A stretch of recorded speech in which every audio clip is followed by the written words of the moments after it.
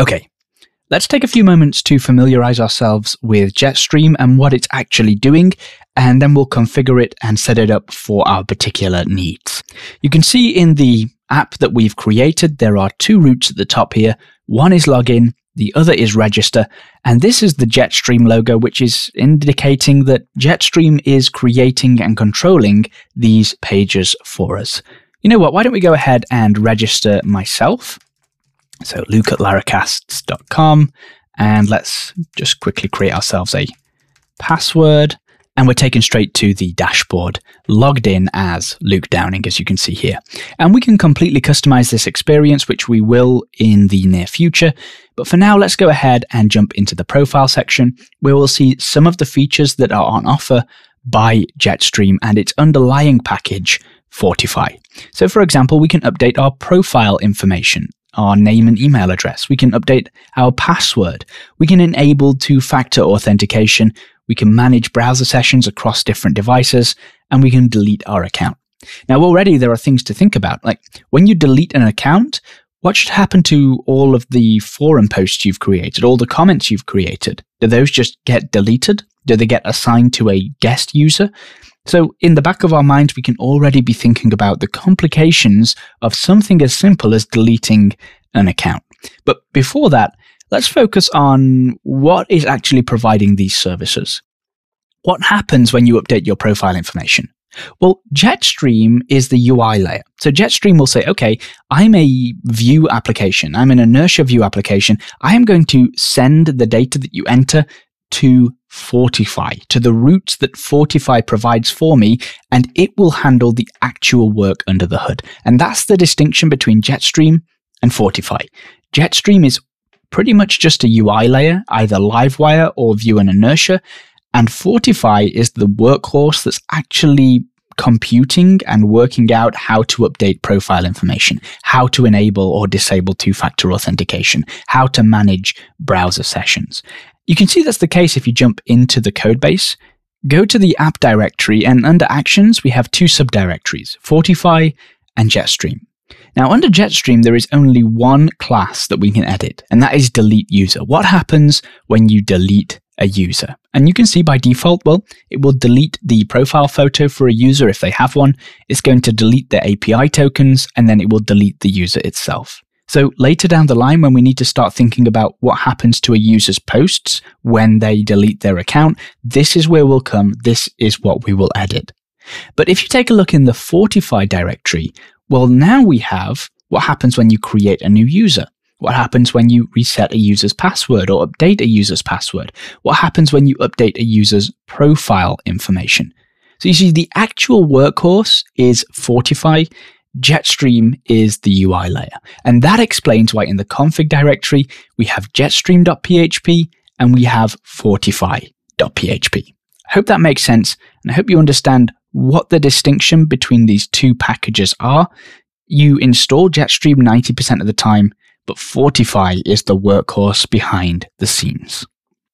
If we jump into the Jetstream PHP file and come down to this features array, you can see that we can enable or disable the various features that Jetstream ships with.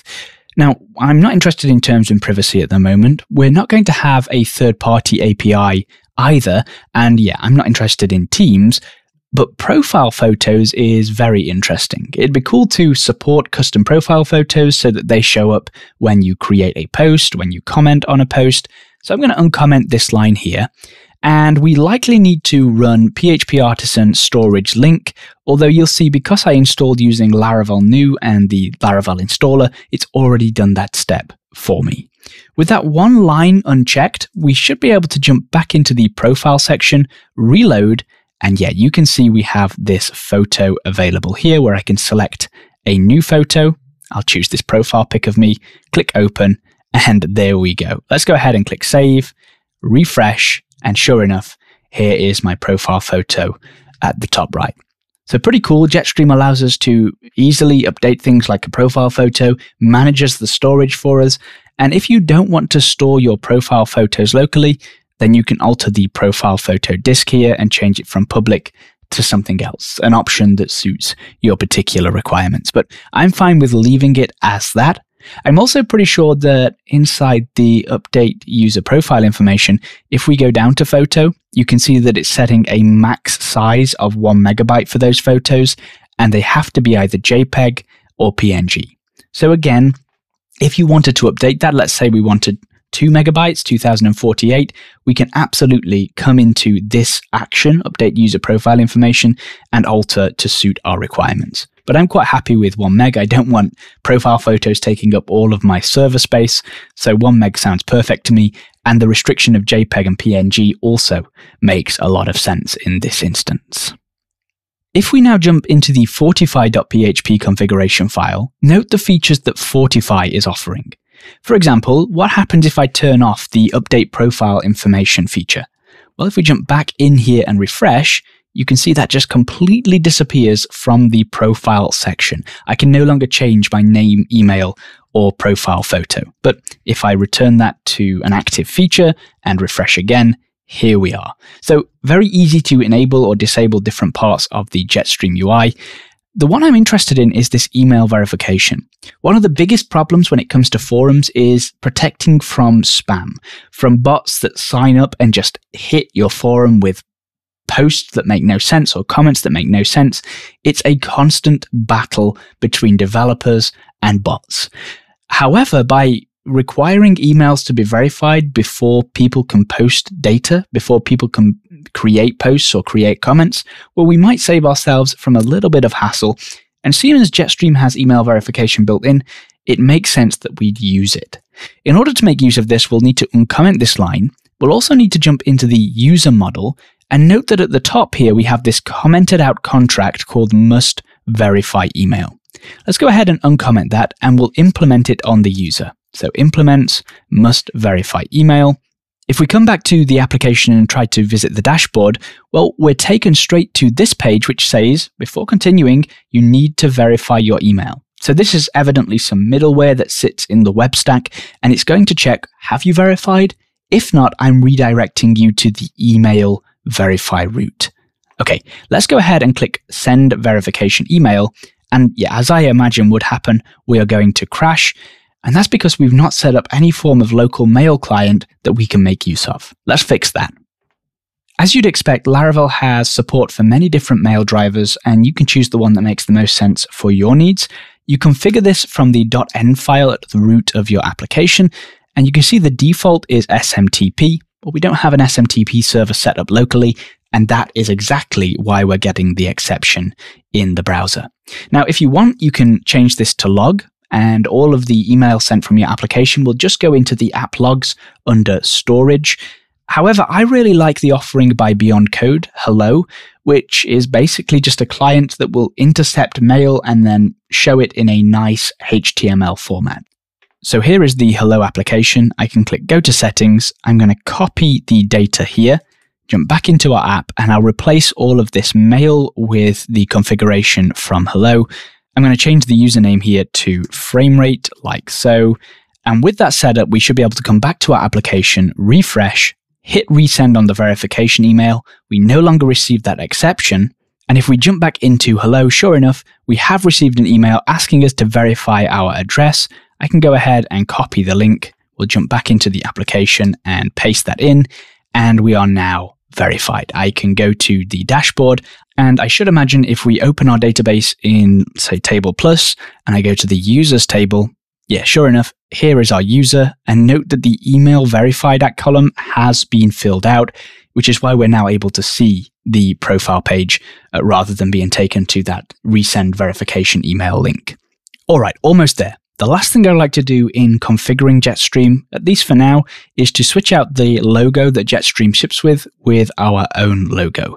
And if you jump into the codebase and head to the resources directory, depending on whether you're using Vue or Livewire will depend on where this logo is. In our case, it's going to be under JS and components, and you'll see there's an application logo.vue file. So all of the components here have been published by Jetstream for us so that we can completely customize the look and feel of the application. You're not stuck with the defaults. You can change everything. So this is the Jetstream logo. Now I've already gone ahead and in the public directory under assets, I've dropped in the logos from our designer Adrian.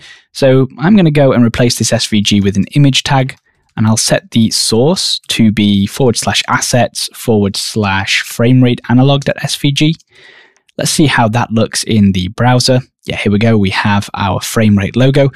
Now it's not altered up here at the top left. I believe that's because that is the application mark component instead. It's supposed to be like the smaller variant. So I'll switch this SVG out with an image where we set the source to forward slash assets and then forward slash symbol analog.png. I might ask Adrian for an SVG later on, but for now, there is the PNG application mark. That works well. I do believe that if we log out and go to the login or register routes, yeah, we're still using the old logo here. And that's because this is the authentication card logo. So again, I'll replace this SVG with an image tag where I'll set the source to be forward slash assets uh, forward slash symbol negative dot png. And hopefully now, yeah, there we go. Maybe negative's the wrong one. I think symbol analog was the one I was using before. There we go. Much better. We're actually getting a little bit of blur around there because that PNG isn't high enough resolution. So for now, let's go ahead and use the frame rate analog instead, just to get rid of that nasty pixelation. That's much better. And we should now be able to also go to the register route and see very much the same thing. Yep, we do, which means we're pretty much configured as far as the logo is concerned, and we're ready to start actually building the application. We'll dive into that in the next episode.